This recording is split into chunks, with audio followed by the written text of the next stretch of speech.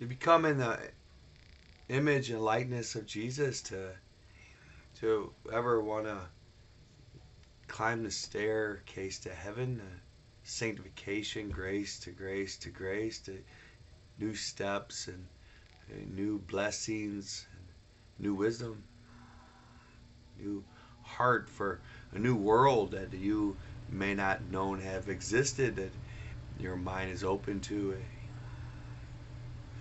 See, a lot, a lot of times, in, in, in Christians' lives, a lot of times the, the blacks and whites are separated. In Christian worlds, there's one, uh, you know, a lot of Christians, a majority, or I don't know in this neighborhood, but majority of Christians would be uh, conservative. And uh, of course, the majority majority of uh, uh, black Christians are, are Democrats. They're two different uh, uh, political sets, persuasions that ever separate them. Uh, they're kind of cordial and they come across one another, but yet they live in different worlds.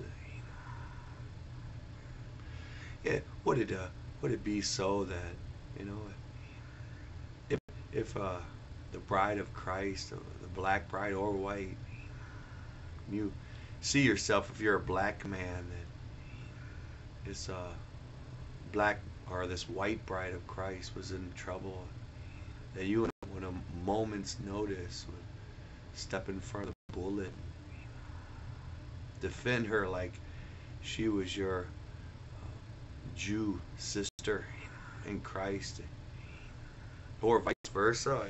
You know, uh, a beautiful, like when I was growing up, uh, Pam Parham represented to me a, a beautiful black bride even being young. She was so sweet and innocent and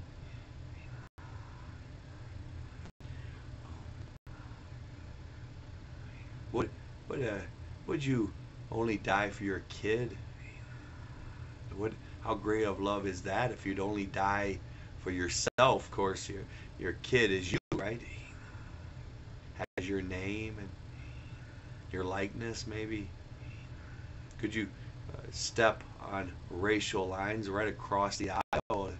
You know, they ain't they're not messing with my black bride. Would uh, it, I got hurt so bad in politics that the black bride when they came after this baker, this Christian baker's livelihood because he wouldn't bake a cake for a sexual pride wedding, a, a gay wedding. He took his livelihood, and uh, it hurt deeply that the Black Bride of Christ didn't stand up and say, "You, no, I don't."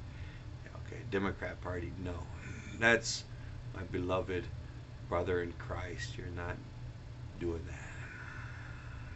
That hurt. It hurt.